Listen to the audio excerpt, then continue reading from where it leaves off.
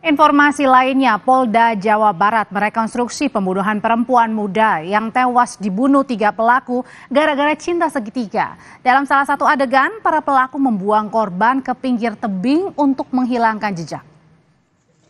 Rekonstruksi pembunuhan berencana terhadap Indriana Dewi Eka urung dilakukan di lokasi pembuangan jenazah di Dusun Cilengkong, Desa Neglasari, Kota Banjar, Jawa Barat karena alasan keamanan. Rekonstruksi pun akhirnya dipindahkan ke arah Polsek Banjar. Ada sebanyak 38 adegan diperagakan ketiga pelaku berinisial DA, DP, dan MR. Pelaku perempuan yakni DP menjadi otak pembunuhan karena korban menjalin asmara dengan kekasih DP yakni DA yang juga ikut membunuh korban. DP lalu membayar MR untuk menjadi eksekutor pembunuhan. Penyidikan kasus kini diambil alih Polda Jabar karena lokasi kejadian berada di beberapa wilayah Jawa Barat.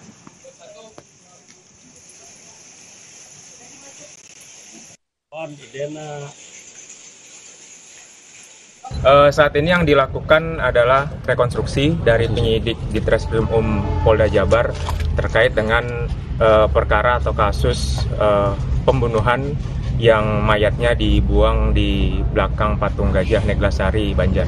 Kabarnya ini salah satu pelaku katanya ada caleg betul ya? Dari informasi yang didapatkan, uh, kami mendapatkan informasi demikian rupa, tapi untuk lebih jelasnya nanti bisa ditanyakan ke penyidik Polda Jabar. Sebelumnya juga polisi melakukan rekonstruksi di lokasi pembunuhan di Jalan Bukit Pelangi, Kecamatan Babakan, Madang, Kabupaten Bogor. Berdasarkan hasil olah TKP, para pelaku mengeksekusi korban yang masih berada di dalam mobil dengan cara menjerat korban hingga korban meninggal dunia. Lalu korban dibawa ke beberapa daerah di Jawa Barat hingga akhirnya dibuang di kota Banjar yang ditutup dengan selimut.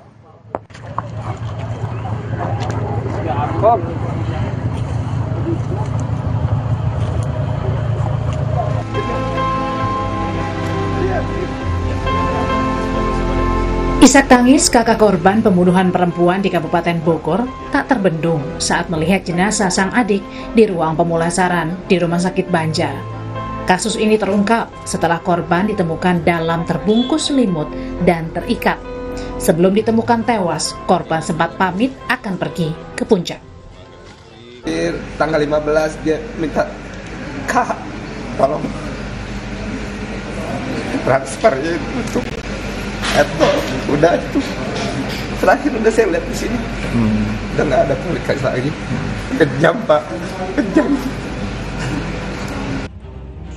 Mengusut kasus ini, polisi menggelar rekonstruksi pembunuhan yang diduga terkait dengan asmara dengan menghadirkan tiga tersangka.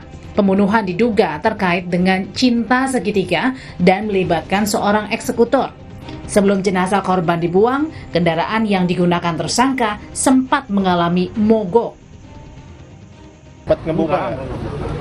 Berarti yang diambil kuncinya dipegang sama yang punya. Oh kuncinya, dikunci berarti mobil. Kunci. Terus ngehidupin mobilnya gimana?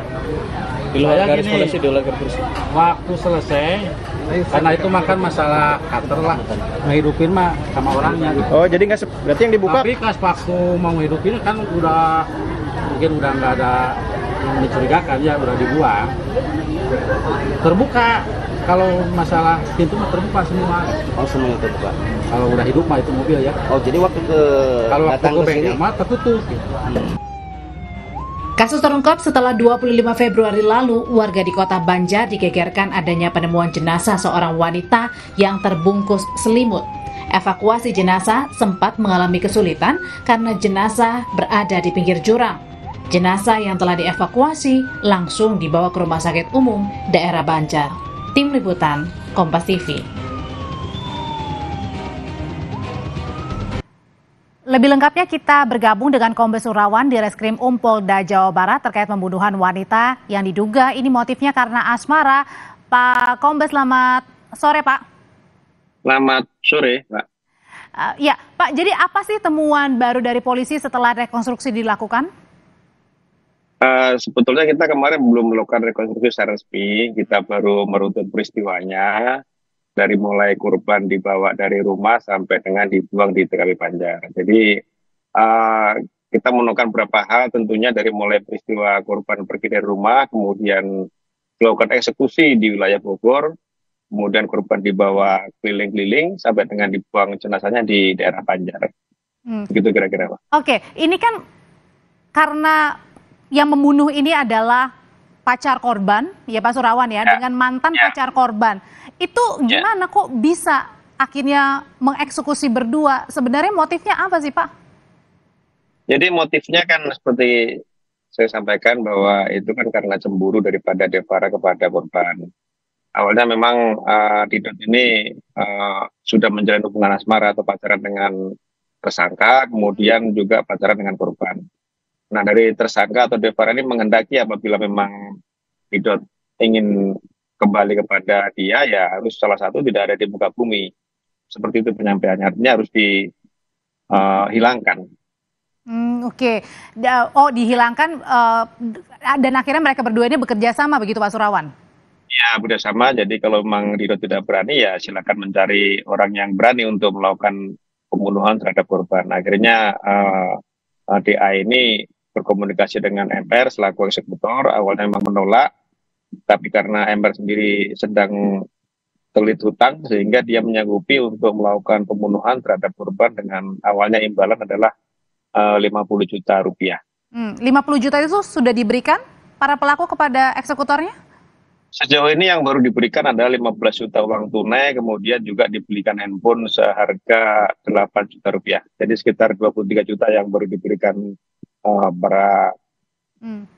korban, eh, para pelaku ini. Oke, eh, kemudian juga dari peran-peran ketiga tersangka ini nanti dikenakan pasal berbeda atau disamakan, Pak? Untuk perannya kira sama semua, jadi memang ini direncanakan oleh mereka bertiga. Oke. Di samping juga pembunuhan berencana juga di situ kan ada uh, perampokan yang mengakibatkan korban meninggal dunia karena ada barang-barang berharga dari korban yang sempat mereka ambil kemudian dijual kepada uh, pembeli yaitu berupa tas Louis Vuitton dan uh, jam tangan merek Rolex. Oke, berarti itu tidak hanya berarti pembunuhan ya, Pak ya, tetapi juga Ya. ada modus untuk mencuri dari Iya betul. barang-barang korban. Nah, kemudian Pak Surawan, eh, kan ini TKP-nya berbeda-beda ya, meski di Jawa Barat, tetapi ini penemuannya berbeda-beda begitu. Mulai dari satu eh, tempat ke tempat lainnya. Itu gimana Polda Jawa Barat waktu itu akhirnya mensinkronkan jenazah yang berada di pinggir kali atau sungai itu adalah seseorang yang kini sudah diketahui identitasnya, Pak? Ya, jadi semenjak penemuan jenazah itu kita bekerja maksimal untuk menemukan identitas daripada korban. Nah, kita mengangkat sidik jari memang yang dalam kondisi sudah sudah jenazah rusak, kita berusaha maksimal untuk mengangkat sidik jarinya dan kemudian kita menemukan identitas daripada korban. Dari identitas inilah kita kemudian eh, mendatangi orang tua korban dan menyatakan bahwa benar itu adalah anaknya yang beberapa hari sebelumnya dibawa oleh pacarnya untuk uh, pamitan jalan-jalan ke daerah Bogor. Nah dari situlah kita mengembangkan bahwa uh, kita menemukan pelaku-pelaku ini dari pengembangan yang kita dapatkan keterangan dari orang tua korban. Oke, terakhir Pak Surawan, ini tersangkanya sudah ditetapkan tiga, ada tersangka kemungkinan tambahan lagi atau sudah berhenti sampai di tiga tersangka ini? Untuk tersangka memang hanya tiga, saat ini kita sudah lakukan uh, penahanan terhadap ketiganya. Baik, Kombes Surawan di Reskrim Um Polda Jawa Barat, terima kasih untuk informasinya mengenai pembunuhan wanita yang diduga terkait dengan motifnya adalah asmara.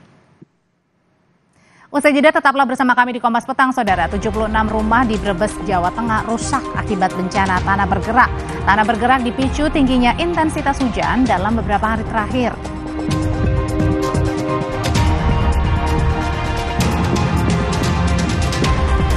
Sorotan lainnya, kedatangan Ed Sheeran ke Pasar Santa, Jakarta Selatan Sabtu siang jadi sorotan netizen. Beberapa jam jelang gelaran konser, Ed Sheeran sempat mengetok toko-toko vinil di Pasar Santa untuk membagikan piringan hitam album miliknya.